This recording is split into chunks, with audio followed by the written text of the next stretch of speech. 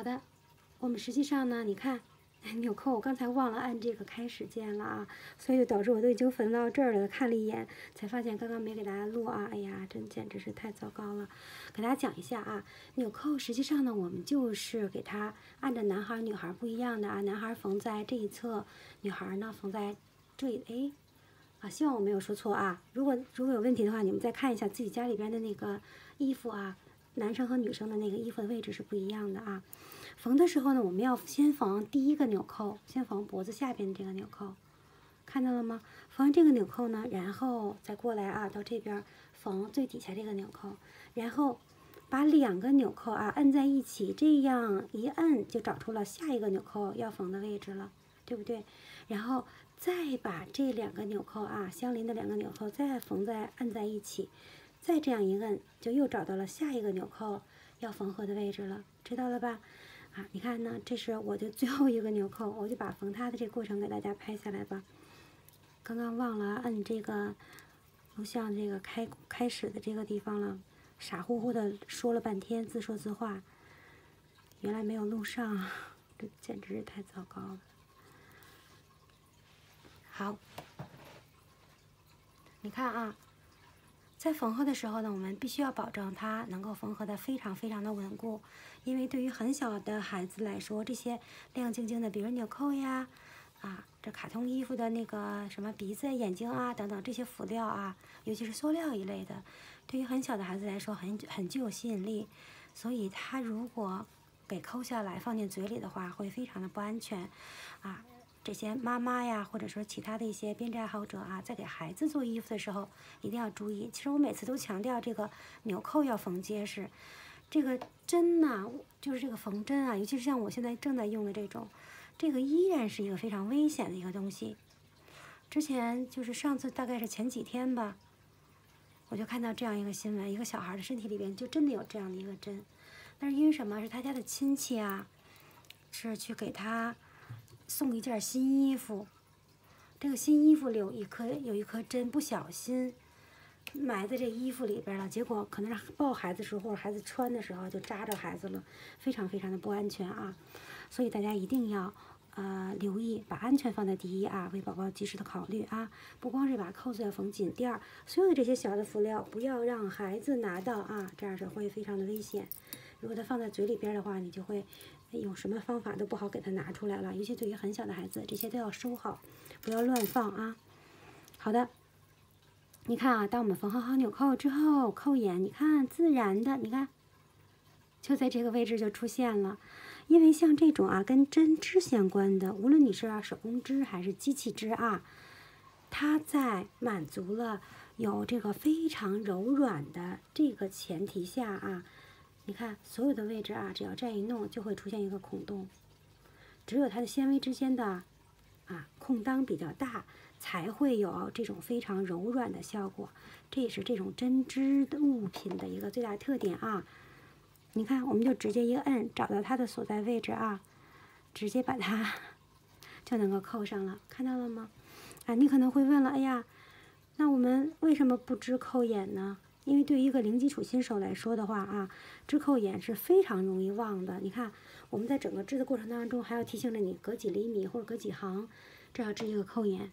然后你下次要忘了怎么办？对不对？所以这个啊非常容易忘，这是第一。第二，真正编织的扣眼啊，其实并不难。我一会儿就告诉大家怎么操作啊。但是它有一点不好，什么呢？就是织完的那扣眼的位置啊，再扣着扣子，它很容易掉。这扣子就不牢固，它不像我们现在这个位置啊，你看它扣的非常的结实，对不对？所以针织的扣眼啊，就是我们用织呃织针的手法完成的扣眼，它稳固性不特好，不是特别好。我可以教大家怎么完成啊，就是在织到这个位置的时候啊，你看织到这个位置的时候，我们首先把两针并成一针，然后再加出一针来，加出一针呢，就类似于我们那个，嗯，我给大家演示一遍吧，我拿一个东西啊。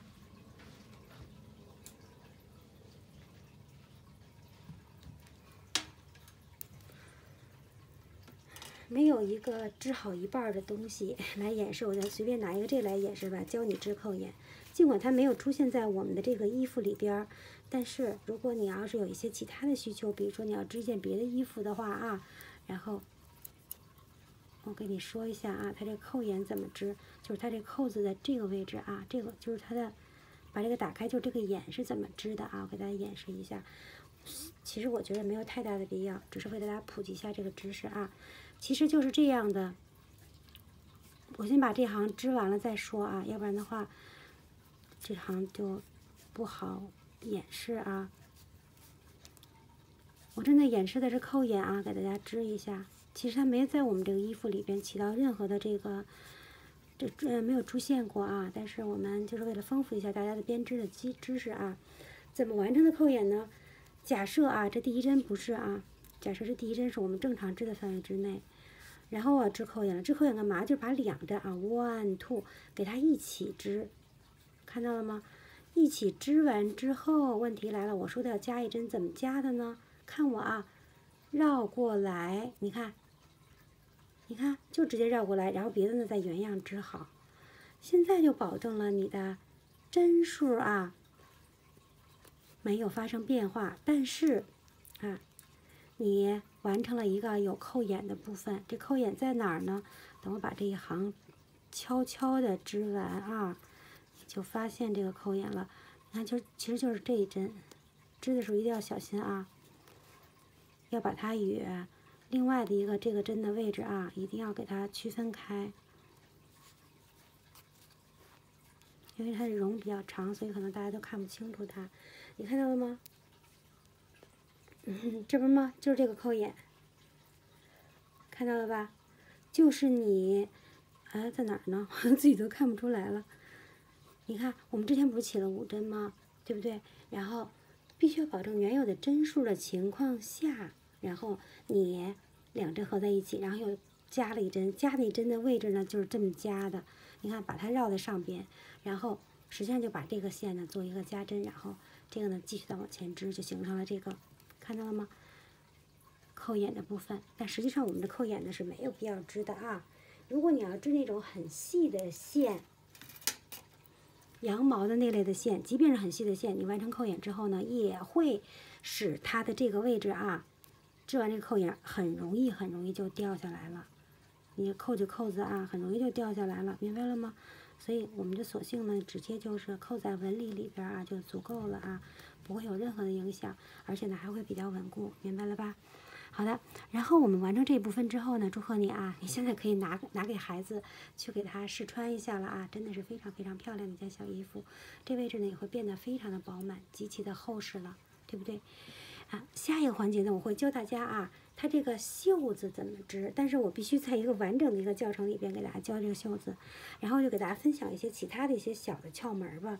你看啊，我们现在的这个内部看到了吗？我们现在这个内部的部分啊，它是看上去是比较的平整，实际上呢也只是小面积的啊小局域，看上去很平整，实际上。如果大面积的话啊，还是把这一面作为表面的会更好看。因为之前我会收到很多同学的一个问题，说：“哎呀，我感觉我这里面织的可可整齐了，我能不能拿它当成表面来给那个，呃，直接来操作呢？”那样是真的不行，因为如果你要是把这一面当成表面的话，你的针尖所在位置、长线所在位置啊，一切都没有办法和我之前教给你们的这个教程没有办法和它保持一致了，明白了吧？所以，尤其到肩部的时候啊，会非常的混乱，你就很难的往下操作了，容易出现问题。所以大家还是老老实实的啊，拿织正针的那一面作为正面来进行下一步的操作。但是，我们喜欢反针的这些位置啊。呃，比如说像像是耳朵啊等等其他的一些小的配饰啊，如果是小范围的出现、小面积的出现，还是反针的这种花纹啊，看上去更为的整齐。你看这有一线头。但如果要是大面积的情况下出现的话，我们还是拿正针的这一侧啊来作为表面来给它安排，记住了吗？啊，小范围的，比如耳朵呀。这类的啊，眼睛啊，多数情况下啊，我会把这个织反针这一面呢作为表面。好了，刚才跟大家普及了很多哈，跟编织相关的一些小知识。好，下一个环节呢，我会教大家把袖子织好啊。你们把这个相对应的东西都准备好，而且要准备一本厚杂志啊，嗯，硬一点那个厚一点的杂志啊，宽度大概在二十厘米左右。事后的时候，就是缝合袖子的时候，我们会用到它。好的，下一篇下一个视频我们织袖子啊。